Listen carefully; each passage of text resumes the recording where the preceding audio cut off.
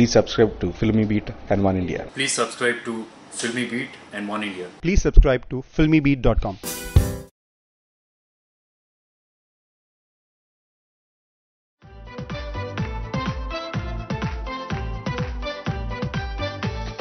Shahid Kapoor, who was nominated in the Best Actor category for IIFA for his portrayal of drug-addicted rock star Tommy Singh in Udta Punjab, believes it was a difficult decision.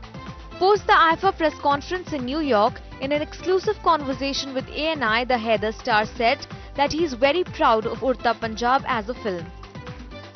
I'm very proud of Udta Punjab as a film and Alia's here, she's nominated for Udta Punjab as well. So it's, it's great that a film which was so experimental and so different is getting so much love, so much appreciation.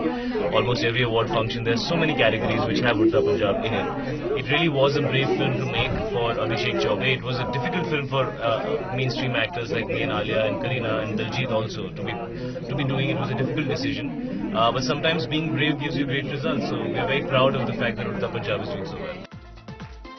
Udta Punjab has been nominated in seven categories for this year's International Indian Film Academy Awards.